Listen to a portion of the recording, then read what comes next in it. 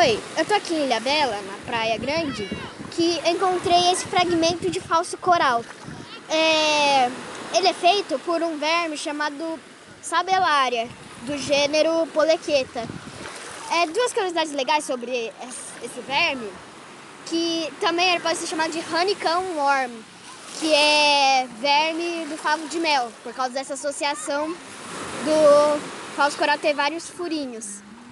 E a outra curiosidade é que para ele se alimentar, ele faz um filtro em formato de leque, em que ele pega só os plâncton, que é o que ele come, e come. É uma coisa muito legal.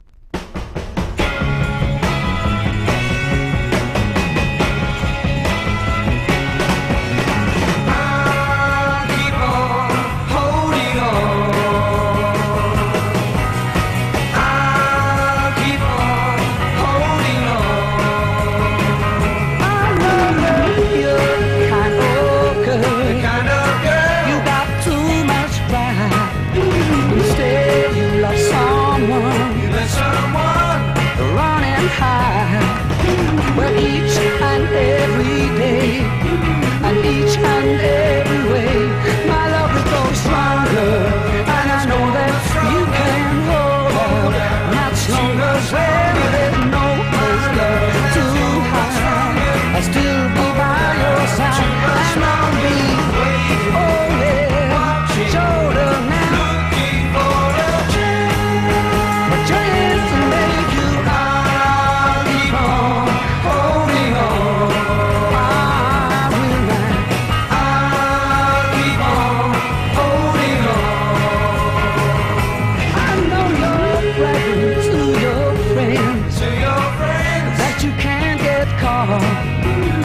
baby, you don't know. So it's time you were caught.